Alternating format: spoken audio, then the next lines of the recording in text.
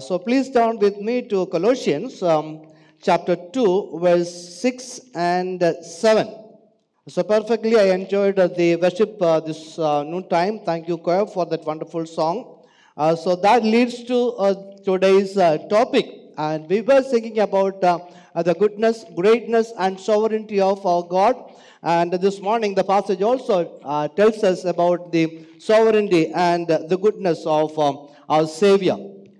So when we look at uh, uh, the book of Colossians, the epistles to Colossians, we know that uh, Apostle Paul uh, wrote this letter to the church in Colossae, a city in Asia Minor, approximately in AD 60.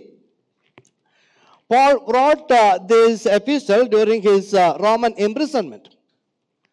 And history says Paul never had uh, visited Colossae. The church had been founded by Epaphras and other believers from Paul's missionary journey. Paul especially wrote this letter to combat uh, false teachings that had uh, infiltrated the Colossian church. Uh, the main issue in Colossian church was syncretism. Probably uh, the word syncretism means uh, combining ideas from other philosophies and religions. So Colossian church faced this great uh, uh, damage due to these particular teachings. Greek philosophy and other religious teachings, they combined together and this infiltrated uh, the church in Colossae. Paganism or strains from uh, Greek thought uh, with Christian truth, all these were combined together and put before Colossian believers. And Paul knew that this is dangerous and false teaching is dangerous to the church of Christ. So he want to uh, redeem the Colossian church from false teaching. At the same time, he want to educate them uh, with Christian gospel and uh, doctrines. So to combat uh, the error, Paul emphasized here uh, the, the deity of Christ. And he emphasized the person and work of Christ. He emphasized the personality and uh, the great power of Christ. And he wants to emphasize that Christ is divine. At the same time, Christ is human. So he wants to emphasize the divinity and humanity of Christ, and he gives this uh, epistle to uh, Colossians. So he wants to emphasize the sacrificial death uh, as a man on the cross, and we just sang, "Death can hold you, the grave can uh, hold you. Only through Christ one can have eternal life." So the key verse of uh, the book of Galatians is chapter 2, verse 9 and 10. For in Christ all the fullness of the deity lives in bodily form. And in Christ you have been brought to fullness. He is the head over every power and authority. In him you were also circumcised with a circumcision not performed by human hands. Your whole self ruled by the flesh was put off when you were circumcised by Christ. So these verses is, is known to be the key verses of um, uh, book of Colossians. As we read through chapter 1, verses 1 to 12, and he greets the Colossian believers and he offers a thanksgiving prayer for spiritual wisdom and strength for uh, uh, these brethren. And when we read through chapter 1, verse 13 to 23, uh, Paul is discussing about the person and work of Christ. So our verse just tells us that, so then, just as you see, uh, as you received Christ Jesus as Lord, just as you received Christ Jesus as Lord. So we want to ask a question at this point who is this man? Who is Jesus? And Paul, first of all, emphasized the greatness and goodness of Jesus in the first chapter. So, brief, briefly, we look at the first chapter for, uh, for a moment. Look at chapter 1, verse 15. And Paul is talking about Jesus Christ as the image of invisible God. Jesus is the image of invisible God. That means Jesus is the exact representation of God. Is the exact image of God. And these days we are very familiar with image.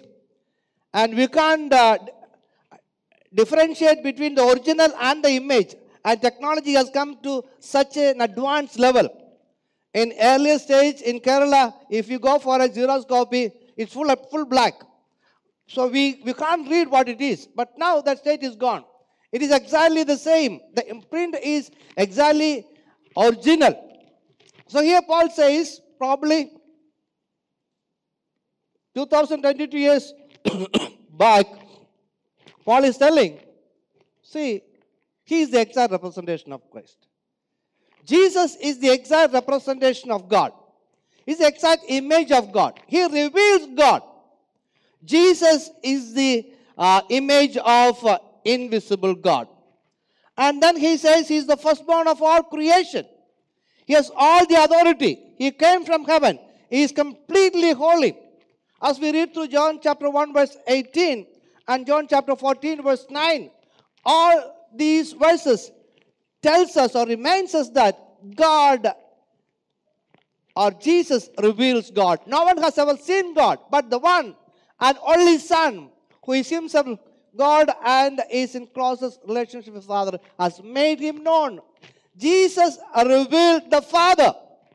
So this is what exactly Paul wants to communicate to the Colossian believers. He is the image of invisible God. And then in verse 16 of Colossians chapter uh, uh, 1, Paul tells us that he is the creator. He is the creator God. Look at this verse. For in him all things were created, things in heaven and on earth, visible and invisible, whether thrones or powers or rulers or authorities. All things have been created through him and for him. Christ created everything. As we read the same in John chapter 1, we see that God created everything through Jesus. He is behind all the creation. As we read through Genesis, we see that come, let us make man in our own image. That three plurality talks about the oneness of God. Let us make man in our own image. So Paul is telling if Colossian believers that he is the creator. In him all things were created, visible and invisible. All the thrones, powers, rulers, and authorities of both the spiritual and physical world were created by Christ Himself. And in verse 17 says, He sustains everything, He upholds everything, He protects everything, and He provides for everything. He not only the creator, He sustains. He provides, He protects, and He keep them uh, going. And thirdly, Paul here says that He is the head of the body of the church. In verse 18, in verse 18, it uh, reminds us that, and He is the head of the body of the church. He is our head. He is the, he is the Father. He is the beginning and firstborn from among the dead. Now, He is the head of the church. At the same time, He rose from the dead. He alone, and His tomb is still empty. His tomb is still empty, and he rose from the dead. He broken sin and the grave. So he is sovereign and supreme. He is not like the gods of Greek mythologies, and he is supreme and sovereign. He defeated death, as we read in 1 Corinthians chapter 15, verse 20, and also 1 Thessalonians chapter 4, verse 14. So Jesus is God. This is the whole thesis of Paul uh, as he wrote uh, Colossian um, a letter. And uh, thirdly, he tells us that he died for us, reconciled us to God. Look at verse 22 of chapter 1. And there it says, But now he has reconciled you by Christ's physical body through death to present you holy in his sight so he died the deadly death and he was crucified for us just to reconcile us to the Father. Turn with me to Romans chapter 5. In Romans chapter 5, we see when we were powerless, Christ died for the ungodly. We were powerless. He died for us. And secondly, in Romans chapter 5, verse 8, we see when we were still sinners, Christ died for us. When we were powerless, when we were sinners, and in 510 it says, while we were God's enemies, He died for us. So when we put all these thing- things uh, together, we see that Christ died for us, for me and you. When we were enemies, when we were powerless, when we were sinners, when we were far away from God and the fellowship, He died for us. He reconciled us to the Father. So Apostle Paul says, He has reconciled you by Christ's physical body through death to present you holy in His sight. He faced this death so that we will be reconciled to God at the same time we will be holy just to give a new nature, a new cloth of holiness. So, this is what Jesus, so he, in a very emphatic way, he emphasized the greatness, the goodness, and the power of Jesus Christ. And with that foundation, he is moving to chapter 2. And when he come to verse uh, 6, he says, So just as you received Christ Jesus as Lord. So we are in a new beginning. Where the just started 2023, the first week, the first Friday. We know what happened for the last couple of years. We have gone through a pandemic. We faced difficult uh, uh, times. And we were sitting with mask, sanitizer, and with social distance. That time has gone. We are in a new phase, a new beginning, a new year, a first week of 2023. So, if God allows, we have a long way to go. As we're heading towards our journey, this is what Paul encourages us to do. Be rooted in Him. He died for us, He delivered us, He gave us a new status, He gave us a new cloth. So be rooted in Him. Hallelujah. Hallelujah. Be rooted in Him. And the Shalom very beautifully, I think, um, portrayed a picture of a tree. Uh, be rooted in Him. Just like a tree. Be rooted in Him.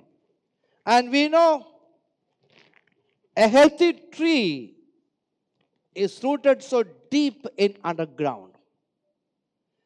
From the underground, the healthy tree gets nutrients and moisture. If there is no nutrients and moisture, the tree will die. The tree will dry up and it will gone. But Paul is comparing our spiritual life is just like a tree, a, a healthy tree, rooted and uh, built up in Him. What does it mean? We know that the root gives stability, and the root always acquire nutrients and moisture from the ground. Now, what we see above the ground is only a fraction of the tree. Everything is underground, covered, and deeply rooted. And as we know, the most important part of the tree is underground, searching for nutrients and fetching nutrients, giving nutrients to the tree. Look at Psalm 1, uh, verse 3. We all are familiar with Psalm 1, uh, verse 3. That person is like that person is like a tree planted by streams of water, which yields its fruit in season and whose leaf does not wither. So there also the psalmist is comparing a spiritual person with a healthy tree, a tree planted by streams of water. So this noontime, this is what the Spirit of God encourages, challenges to lead a life healthy for the glory of God. For that you need uh, God's guidance, God's wisdom deeply rooted in Him. How to be? We need to read God's word. Without reading, we cannot be go into the depth. Not only reading, but also we need to meditate. Read, meditate, and obey God's word. Through this process only we can deeply rooted in Christ Jesus. I don't know what kind of uh, plan you are having in reading the scripture. What kind of plan? I don't know. You can say to yourself. How we are studying the Bible. Reading and studying and obeying the Bible is very essential. So when we study God's word, we'll be strong. We'll be able to face eventualities or challenges in life, storms of life. If the root is not strong, we know what will happen to a, a tree. When storms comes, it will fall, it will, it will die off, it will fall. Similarly, our spirituality, if you are not strong, we cannot face the temptations of Satan. In order to face temptations, we need to be strong, spiritually strong. How Jesus overcome the temptation? He overcome the temptation by the word, the Torah. He used God's word, the sword, God's word, to overcome temptations. So, this note, I challenge you to have a proper plan of reading and studying the scripture so that you will be strong spiritually. When you face challenges and difficulties, you will face it boldly with spiritual strength, the strength from above, God's grace and strength. I don't know how many of you heard about Hannah Alice Simon. Hannah Alice Simon. We know Hannah and Sarah and uh, so many. Right? Hannah Alice Simon is a teenager or a 17 year old girl. She was in limelight for the last uh, uh, couple of months in India. Probably that's why you are not uh, familiar with that name. Hannah Alice Simon, she wrote her uh, CBSE board examination, 10th examination, 12th board examination. And when the result came, uh, she scored 497 marks out of 500. Bishop, what's so funny about it? Eh? Our children are, are also scoring. Centum 500, 500. I tell you, my friends, Hannah Alice Simon is a born blind girl. Born blind. This blind girl scored 497 marks out of 500. She is from Ernakulam. And her parents, ordinary people. Her father is an office worker, and her mother is a school teacher. And she got uh, two siblings, younger ones. This girl born blind. You can imagine a child who is blind in our family. But God helped Hannah Alice Simon. She grew up with facing challenges. She gone to ordinary schools, normal schools, and she faced challenges from her uh, classmates, schoolmates.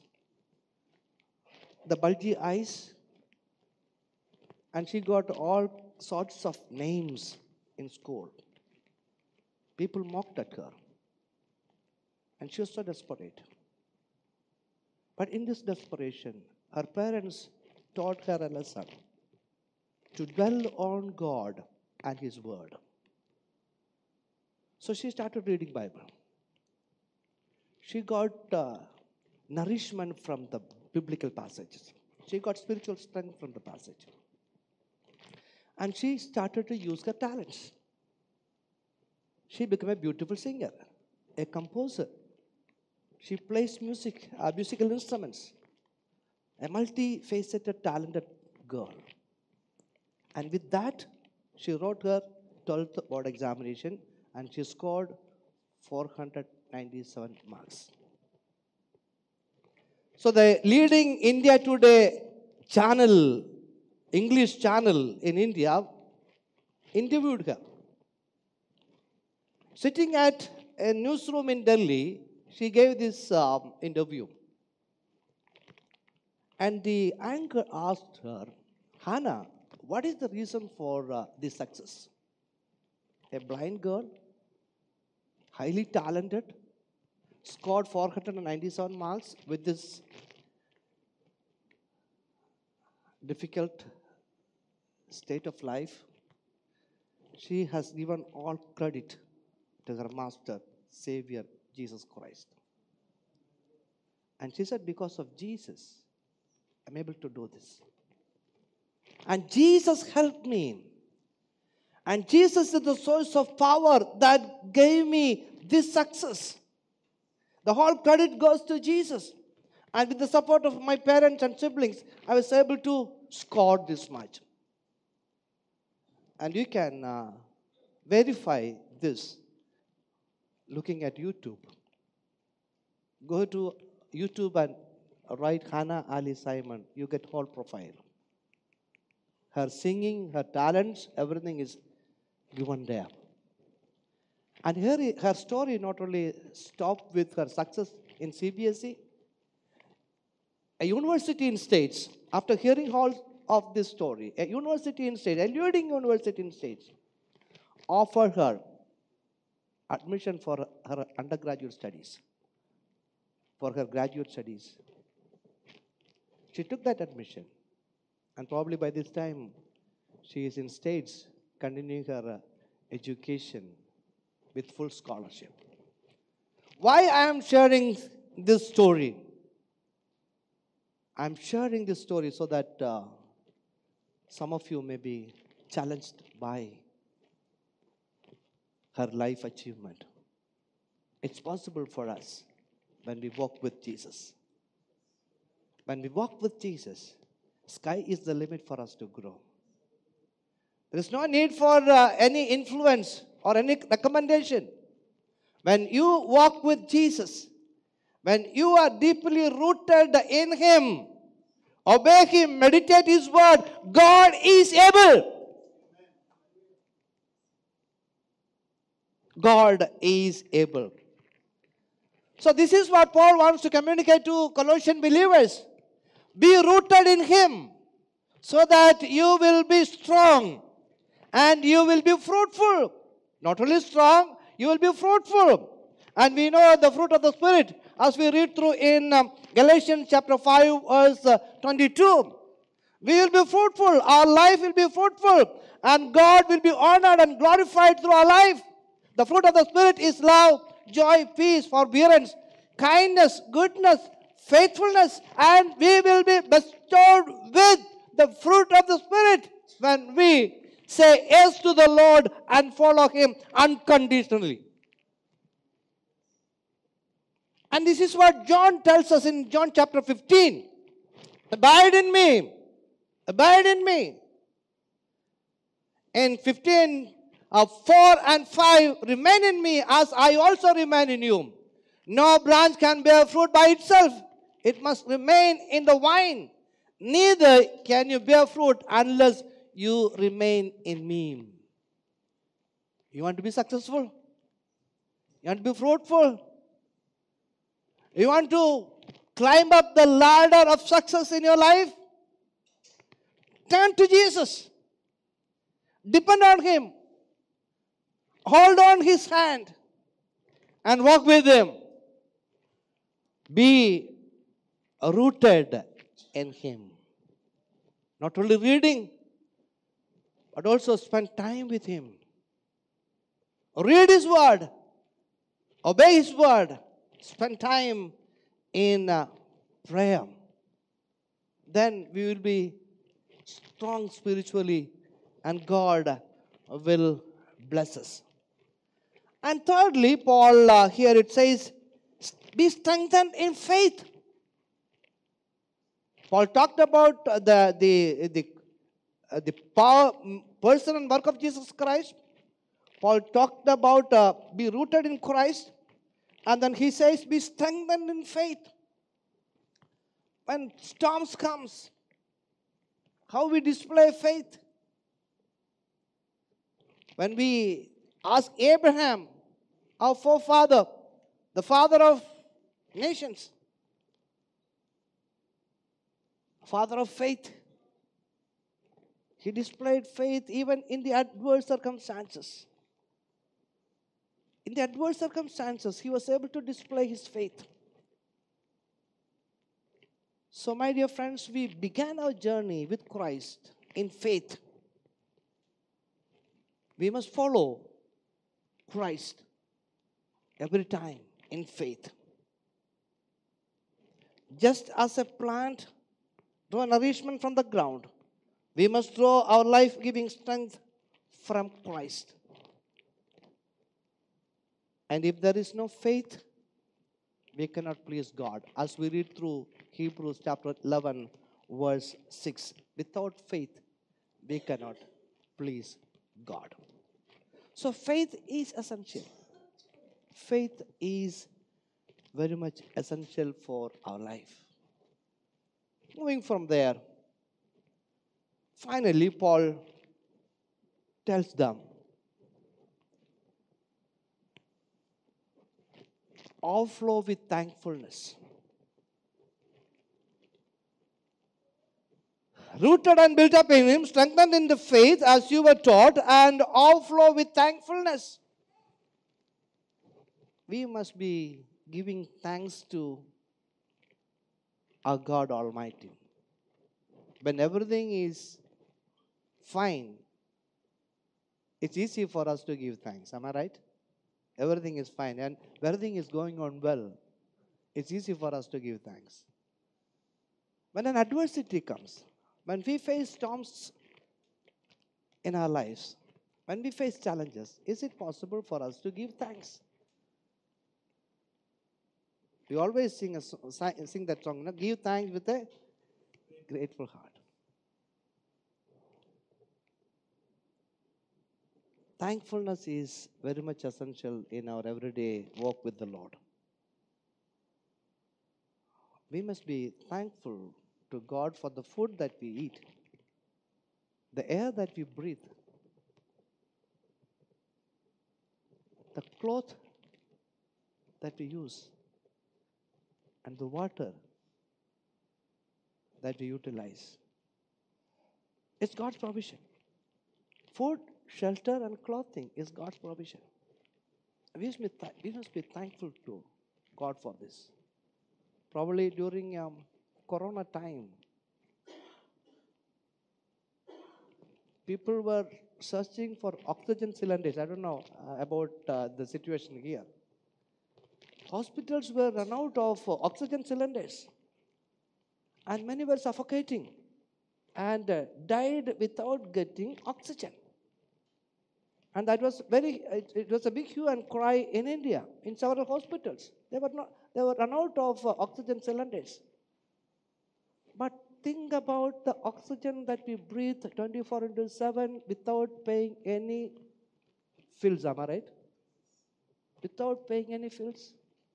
24 into 7. Ever thought about it? Ever thought about it? Think about people go to bed without having a morsel of bread. Think about children in India. I tell you, lakhs and lakhs of children go to bed without having a full meal a day. When we, when we enjoy all these blessings, have we ever thought about God's goodness? We always look at what we do not have. What we do not have. And we always look at others, what do they have? That's our comparison. But we never look at ourselves. The way in which God blessed us immensely. Immensely. So think about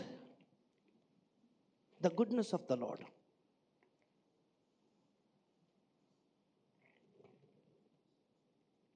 Overflow with thanksgiving. Lead a life of thankfulness. I'll be close within few minutes. What are the advantages if we are rooted in Christ? What are, what are the advantages? Already I mentioned um, few things. First of all, when we are rooted in Christ, we'll be able to face challenges in our lives. If we are not rooted, I think when tsunami comes, we'll be washed away. I mean, tsunami means storms in lives. Storms in life. We will not be bold enough like Hannah Alice Simon. Recently, I visited um, the northern part of Kerala. I visited a, a home. I come across a person who is in bed for the last 30 years. 30 years he is lying in bed. I asked about the story. And um, the people, now he, he can speak. The, after the first month, the 30 days of his marriage, remember, 30 years ago, 30 days before his marriage, his wife went to the open well and she was trying to draw water from the open. You know, some of you know the, the big wells in Kerala with no proper uh, uh, ring and all. It was just a wooden plank across uh, the well. And she was trying to draw water. It's a deep well. And she noticed something there, and probably it was a frog, I don't know, dead frog, I don't know what was it. But she noticed something. And she called her husband. And with this surprise, he also stood on that wooden plank. All on a sudden, that broke. Both of them fell in that deep, deep well. And his wife, the newly wedded wife, died instantly. And he was survived with multiple injuries. And 30 years before, he didn't get uh, good medical attention. The whole spine was completely damaged.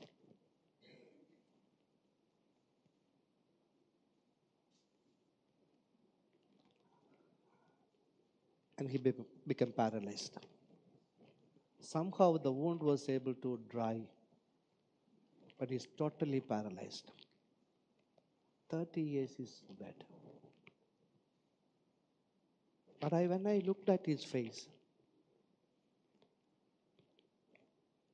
his face is just like bright sky, overflowing with thankfulness. He laughs, he smiles.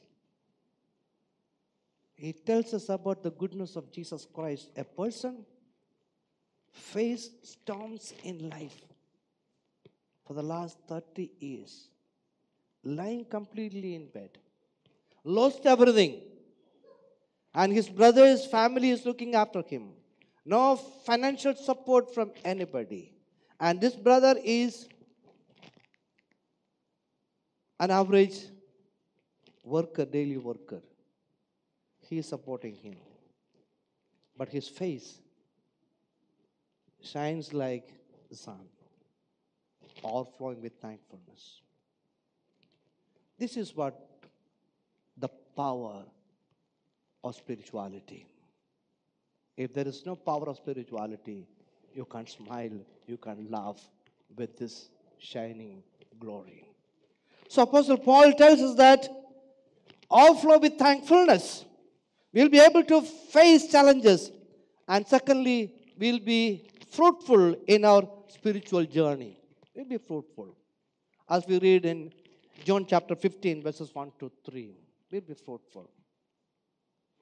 If we are not rooted in Christ, then our life will be in danger and destruction. As we read in John chapter 15, uh, we just mentioned that verse. John chapter 15, uh, we see that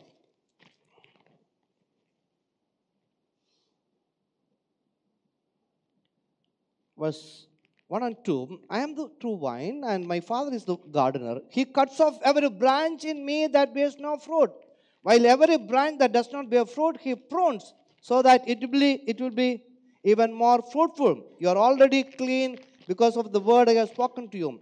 Remain in me, as I also remain in you. No branch can bear fruit by itself, it must remain in the vine. Neither can you bear fruit unless you remain in me. If you're not bearing fruit, if you're not bear, if you're not abiding in Christ, verse 6, if you do not remain in me, you are like a branch that is thrown away and withers. Such branches are picked up, thrown into the fire, and burned. If we are not rooted and remain in Christ, if we are not fruitful, there will be judgment, there will be punishment.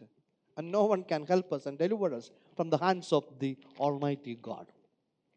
So, my young friends, you have a long way to go. Remain in Christ so that you will be fruitful and uh, God will be honored through your life.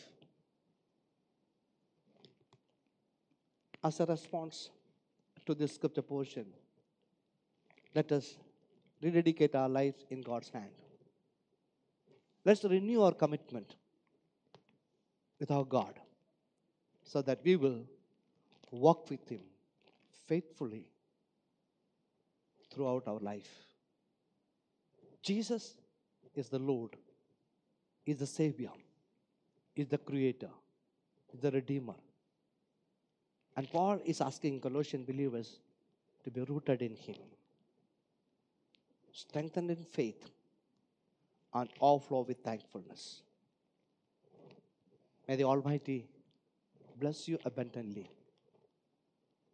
May God give us His grace and strength, and His Spirit may empower us so that we will be continuously work with Him and glorify His name. God bless you. Thank you for giving me this particular time. Wish you God's blessings.